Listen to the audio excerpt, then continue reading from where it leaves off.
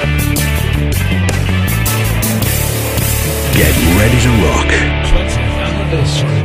This is Pete Feenstra on Friday, the 8th of March 2013, talking to the guitar phenomenon that is Chantel McGregor. Live at the Boom Boom Club 2013, ladies and gentlemen. Second time you played, the third time in Third fact, time, because you played for George, didn't I you? did, yeah. My ex partner, no, uh, sadly no longer with us. A bit like Alvin Lee, they're probably up there having their own party, I guess.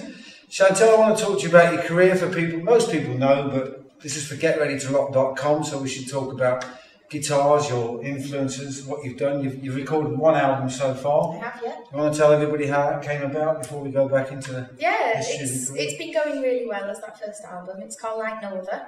Um, Is that an ironic title or a literal title? Mm, that's open for interpretation. Right. Anyway, sorry, I interrupted. That's okay.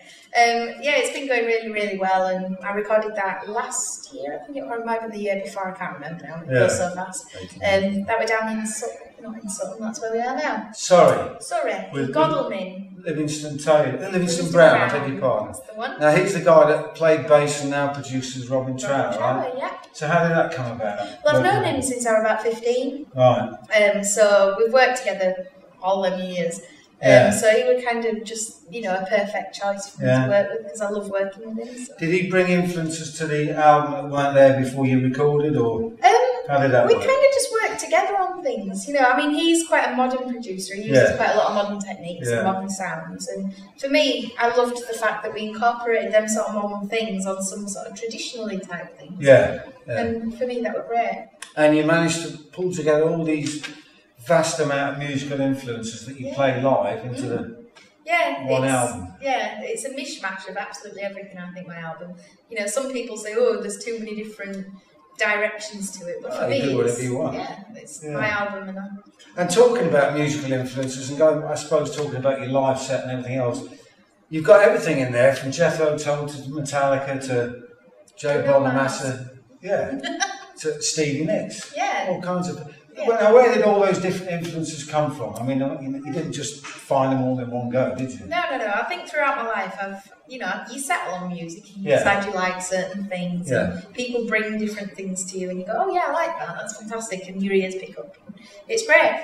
And for me, it's like probably the, the rockiest stuff's probably from when I was younger. You know, the Jethro Tull, Hendrix. Yeah. My mum and dad listened to it. So that's where that came from. Yeah, guess, yeah. and more recent things like pop and stuff like that, you know, Yeah. Bruno Mars, Lady Gaga, Yeah. sort of thing. Yeah, it's no, just works. what's out and what I like. And do you then adapt that stuff for your guitar playing? Yeah. yeah. Yeah, yeah. Bring mean, your own interpretation on it. Yeah, I kind of just take a little bit of everything, kind of put it in a big melting pot, stir it up, and it comes out as what I want it to be. And when you take it to the band to actually play on the road as such, do, do they bring anything to it that wasn't Absolutely, already there? yeah, yeah, I mean, we, you know, things evolve on the road. This is the thing. It's Yeah. like you know, the songs that were done for the album, they were different before the album, then they were different on the album, and then they've evolved again since. And, everything moves. And how much of that stuff that is on the album did you actually kind of play live before you recorded it, um, percentage wise? no, okay. No, the people on the album, um, it, well, it, Livingstone played bass Yeah. on it, and he'd never played the songs before, and the drummer Wow. that was on there, so, um, he, he'd never played them either. Who's so. the drummer? Oh, Um, it was Chris. all right, all right, good, good stuff.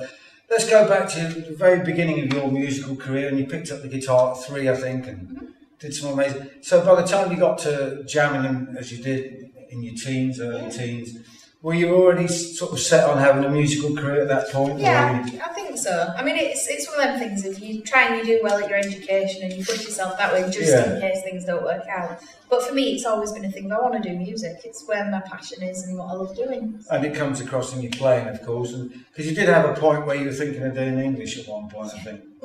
so that that fairly Yeah. soon went out the window. And, actually, when you were at the the Leeds School College of Music, mm-hmm. where you excelled, of course, were you already thinking about the direction, musical direction that you were going to go in at that point, Yeah. or has that evolved since? No, I, I mean, I were already gigging while I was doing my degree or something like that. So I was doing sort of 200 gigs a year whilst I was Wow. doing my degree. So I knew what I wanted to do and what direction it was going in, and I were establishing that whilst I was doing my degree. So when my degree finished, I could Yeah. then take it on the road properly Yeah. and do distances and come to London and things. Yeah, and, and excel as, Yeah. you, as you have done. Yeah. Uh, thinking about uh, music in a wider perspective, and we've got a young guy young band supporting you tonight with Jake Rigdon and, and Paul Longson, whose name I don't know, great player, I think.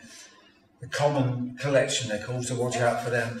Did you find a problem, as Jake did, uh, I know he did because he's played it before. Did you did you have a problem finding people your own age that were listening, prepared to listen and play the kind of music that you were Yeah. into? I mean, it, Because it's a radical departure from what most Oh, kids absolutely. Yeah, I mean, at school, I didn't tell anybody what I was doing, so they didn't know that I was playing music. Wow. Um, that was at school. At university, people were doing different things. You know, Yeah. they were either into jazz or R and B or that sort Yeah. of thing. Never sort of the stuff I was into. Um, so we're always playing with older musicians, Right. and um, So that kind of yeah, naturally. it's, it's kind of it's getting younger. As I'm getting older, my band's getting younger. It's great. Well, I've got to say, as a promoter, one thing I've really noticed in the last, particularly the last five or six years, there's never been such a, a wide, well, a big raft of young bands coming through. The problem is, of course, and maybe you can, you've got an answer for this, but the problem is mostly they're playing to people my age, yeah. or, or an audience older than you, and certainly older than they are. I mean, I don't know how we're going to, you know, without record company support as you used to have in the old Yeah. days, it's a, it's a, It's hard, but I think it is coming round. I mean, our audience, we do get, you know, people of your age, but we also get younger feel people. really old now. Yeah, no, no, that's, yeah. Yeah, Yeah. it's, we, we get a very varied audience. I mean, we get young girls that are seven coming with the dads and the moms and the grandparents, and Yeah. and it's fantastic. And it is slowly filtering through. But I think it's I think it's just a case of that initial hit where people are older because they appreciate that sort of music because that's what they listen to. And they've been brought up on kicking. That's Yeah. that's the other thing. Yeah, it's that work ethic of we go out, we tour it, we build a Yeah. following. Yeah. And they respect that and appreciate that. Yeah. And that's what they know as well Yeah. as an older generation. But I think there is younger generations that are now following into that sort of like ethic thing. And it, it does, it's And just getting them out at shows is, is, is what we've got to do, really. Yeah. And, and you're, you're, you're a beacon in that respect. You know, as you say, you get a good cross section of crowd. Going back to recording, have you got any plans for something somewhere down the line? Yeah. People are asking me to ask you that question, so Everybody's nagging me about it. Um, yeah, I'm writing it. loads of time. But I mean, you know, yeah, Yeah, for me, recording, the thing is, is I'm not going to put something out that's not perfect because I am a complete perfectionist when it comes Right, to albums. okay. And I'm writing it at the moment, and until I'm completely happy with the songs, Yeah. until they're developed and I'm happy with them, I'm not going to put anything out because Right. you know it's got to be perfect for me because you don't get a second shot. No, that's very, very true. And one of the other things you, you've done, of course, you've played with some fairly stellar artists. Yeah. Ranging, But you ranging said Stella Artois then. No, no, stellar artists. You might have had a drinking style at the time. From, from Jeff Beck to Joe Bonamassa to whoever else, some fantastic people. Did they accept you as a, as, Yeah. as a musician? Did it, Yeah. What did you learn from them, if anything? Um, I think Did they give you support and encouragement? Joe has. Joe's given me a lot of um, sort of business advice, really. don'ts, yeah. um, which has been really useful and fantastic. Um, and he still does give me business advice, which is brilliant.